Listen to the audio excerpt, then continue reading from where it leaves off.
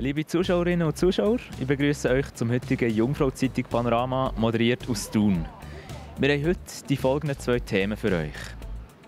Im Restaurant Planalp trifft Stadtkultur auf Alpenzauber. Und IB steht vor dem Saisonstart in der Super League. Das Restaurant Planalp unterhalb vom Brienzer Rothorn hat eine neue Pächterin, Fabienne Batezza. Sie führt das Restaurant zusammen mit ihrem Ehemann Reto Kamenisch und der Ben Abeckle gibt einen Einblick ins Leben der neuen Wirte.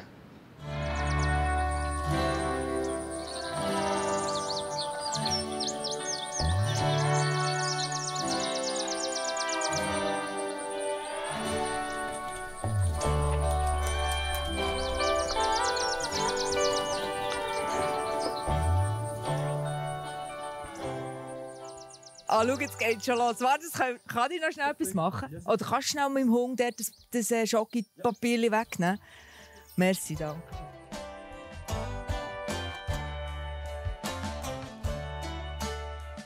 Wir sind auf der Planalp, äh, oberhalb von Brienz, unterhalb vom äh, Brienzer Rothorn, im äh, Bergrestaurant Planalp oder Wirtschaft, so wie sie es hier oben so schön sagen wirtschaftlich beschreibt es sehr gut. Es ist ja recht rudimentär, sage ich mal. Ist es, ja. Wir äh, haben hier keinen Strom. Wir kochen mit, äh, mit Gas, was ja eigentlich nicht weiss nicht, wie rudimentär ist. Wir haben aber auch einfach sonst Kühlelemente, äh, sind auch Kühlschränke mit Gas und äh, haben dort nicht wahnsinnig viel Platz. haben Strom über Solarpanels, auch nicht weiss nicht wie viel und äh, beschränken uns auf das Minimum. Das heisst, jemand kommt, ein eiskaltes Cola will, du noch das Handy aufladen, was sagst du ihm? Wird schwierig. Nein, gibt es nicht. Äh, die Handys müssen sie daheim aufladen und das Cola kommt aus dem Keller so kalt, wie es geht. Im Moment ist es eigentlich noch recht kühl. Dunge, aber wir haben also die ganze, die ganze Harasse schon zwei Etagen runter. So. Eine persönliche Frage. Du bist im Moment in Brienz, kannst du dir aber auch vorstellen, in Indien zu leben? ja, genau. Ja, äh, ich bin viel gereist und äh, ich merke, je älter ich werde, dass ich eigentlich fast überall sein kann. Ich bin aber äh, sehr gerne zu Brienz, weil sie total, oder ich sage sagen, ich bin sehr gerne auf der Planalp, weil sie so, weil wir hier einfach an einem wahnsinnig schönen Ort sind. Es ist extrem ruhig, es ist, äh, wir haben hier die Weitsicht und wir haben die, die Schönheit von diesen, von riesen Bergen um uns herum. Ich kann aber gerade so gut wirklich auch in Indien sein, was sehr laut ist und sehr umtriebig und sehr äh, heiß. Und ich glaube, ich habe einfach beides. Ich glaube, das Schöne ist, beides können zu haben. Voilà.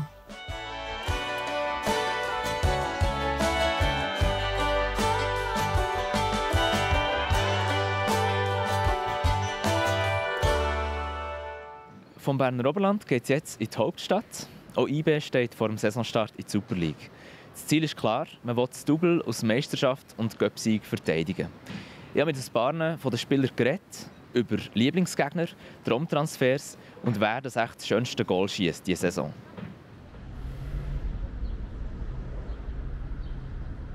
Ja, ich denke, Basel ist immer ein, äh, ein geiles Spiel. Zürich ist natürlich auch nicht schlecht.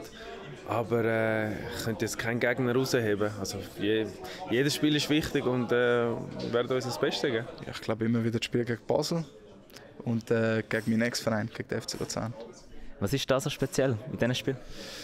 Ähm, wie ich finde, vor allem die Atmosphäre ähm, in beiden Stadien und äh, ja, für mich natürlich als Luzerner äh, immer wieder schön heimzukommen. Also ich bin es nicht, das kann ich schon mal sagen ähm, weil ich wahrscheinlich kein Goal schießen. Ah, das ist schwierig zu sagen. Ich glaube, wir haben einen, einen Castor Timeri, der eine sensationelle Schusstechnik hat. Vielleicht packt er noch einen aus wie gegen Winterthur am letzten Spieltag. Äh, wir haben einen super Stürmer, die alle in der Lage sind, schöne Goal zu schießen. Also von dem her wollte ich mich nicht genau festlegen. Wenn ich muss, dann würde ich, auf, äh, würde ich mal Timeri ins Spiel rühren. Ähm, ich sage der Filip Ugrinic, äh, ein Hammer aus 25 Metern. Loris Benito von 35 Meter oben rechts. Dir nicht? meine fliegen ein bisschen, ein bisschen höher über das Goal. Der Ali. Der Ali Kamera. Ja, er hat halt eine sehr ruppige Gangart. Ähm, der Schiri tut vielleicht bei den ersten zwei, drei Mal noch ein bisschen Auge zudrücken. Ähm, irgendwann ist es vielleicht dann schwierig. Äh, ich wünsche es natürlich nicht, weil mit einer geilen Karte verteidigen spielen ist immer sehr schwierig. Ähm, aber nichtsdestotrotz glaube ich, dass er, er es wird sein. Der Ali lebt auch so durch seine Intensität in den Zweikämpfen und äh, wir sind froh, ähm, spielen wir mit ihm und nicht gegen ihn. Ja, wenn so ein Weltstar wie, wie ein Messi plötzlich da auftauchen würde, wäre glaube der Letzte, der Nein sagen Es gibt glaube ich, so viele Spieler, so viele gute Spieler, die jetzt einen Transfer gemacht haben, zum Teil auch auf, auf Saudi-Arabien, wo vielleicht dann auch in die Schweiz hätten können kommen, vielleicht wäre auch cool gewesen, aber ähm, schlussendlich bin ich eigentlich sehr, sehr zufrieden mit unserer Mannschaft. De Bruyne wahrscheinlich. Thiago Alcantara. Ich schaue ihm einfach extrem gerne zu und ähm, Technik ist dann schon nochmal auf anderen Liga.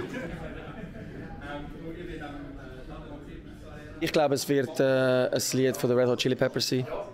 Vielleicht das Can't Stop oder ähm, Danny California, irgend so eins. Boah, es sind ein paar.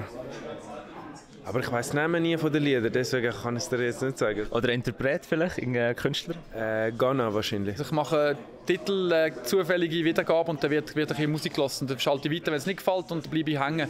Äh, mein absolutes Lieblingslied ist von Macklemore und Ryan Lewis, Can't Hold Us. Das ist so mein, mein Favorite. Wo wenn das kommt, dann wird sicher nicht weitergeschaltet, das kann ich schon mal sagen. Also von dem her ist das ganz weit oben. Das war vom heutigen Jungfrau-Zeitung Panorama. Noch mehr Infos zu den Beiträgen gibt es auf jungfrauzeitung.ch oder bei unserer App. Jetzt gibt es das Wetter von unseren Kollegen von Meteo News. Schön, dass ihr dabei gewesen. Bis zum nächsten Mal. Das Wetter wird euch präsentiert von Made in Bern. Grüezi miteinander, herzlich willkommen zum Jungfrau-Zeitung Wetter für den Kanton Bern.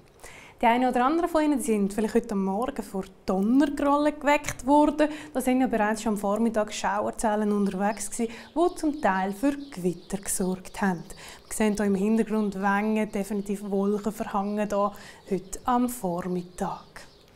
Auf dem Strömungsfilm da sehen wir, das Wetter das beruhigt sich jetzt aufs Wochenende hin zunehmend. Einerseits ist es beeinflusst von einem Tiefdruckgebiet über England. Andererseits da haben wir den Mittelmeerraum, der nach wie vor Hochdruck geprägt ist. Im Verlauf des Samstag gelangt jetzt also mit einer westlich bis südwestlichen Höhenströmung wieder trockene und am Sonntag dann auch wieder wärmere Luft zum Alpenraum. Samstag am Vormittag da sind die Wolken dann vor allem im Oberland noch dichter. Da kannst du stellenweise auch mal einen Regsprutz mit dabei haben. Richtung Seeland da kann sich die Sonne hingegen schon besser zeigen. Das dann bei Temperaturen zwischen 13 und 14 Grad. Am Nachmittag gibt es einen Übergang zu recht sonnigem Wetter. Es bleibt meistens trocken und es wird sommerlich warm mit etwa 24 Grad. Der Sonntag der macht wohl seinen Namen alle eher. Zum Teil da haben wir ein bisschen ausdehntere Schleierwolken. Sonst wird es aber alles in allem recht ein sonniger Tag. Dazu da erwarten wir wieder sommerlich warme Temperaturen bis etwa 28 Grad. Bereits auf dem Montag meldet sich dann aber das wechselhafte Wetter wieder zurück. Zum Teil haben wir also gewitterige Schauer mit dabei. Und sowohl am Dienstag wie auch am Mittwoch gibt es einen veränderlichen Mix aus Sonne, Wolken und Schauer. Auf den Donnerstag hey, da mag es dann aber schon wieder abtrocknen und die Temperaturen die liegen im Verlauf der Woche zwischen 23 und 25 Grad. Das war es von meiner Seite. Danke vielmals fürs Zuschauen und bis zum nächsten Mal. Adieu miteinander.